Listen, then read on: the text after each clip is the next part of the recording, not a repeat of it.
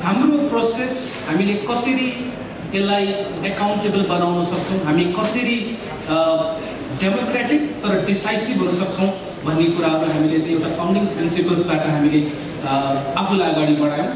र हामीले यसमा हामीलाई तिनवटा टिममा डिभाइड गऱ्यौँ। एउटा अर्गनाइजिङ टिम जसले चाहिँ अहिले पनि टोटल व्यवस्थापन हेरिराख्नु भएको छ।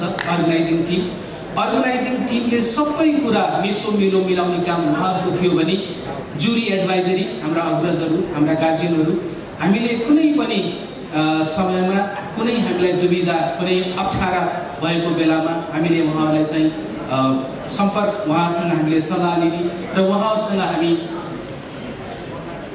कुनै दुविधा भएको बेलामा हामी उहाँहरूसँग चाहिँ उहाँको उहाँसँग पुगेर उहाँलाई सम्पर्क गरेर उहाँहरू हाम्रो हरेक प्रक्रियालाई चाहिँ उहाँले चाहिँ अब्जर्भ गर्नुभएको अवस्था हो।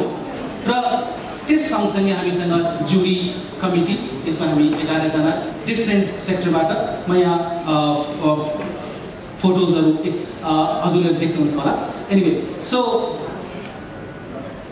म यो प्रोसेसलाई कसरी हामीले मोर रेस्पोन्सिबल एकाउन्टेबल र ट्रान्सपेरेन्ट बनाउन सक्छौँ भन्ने कुरा र सम्भवतः यहाँ धेरैजनालाई जिज्ञासा होला।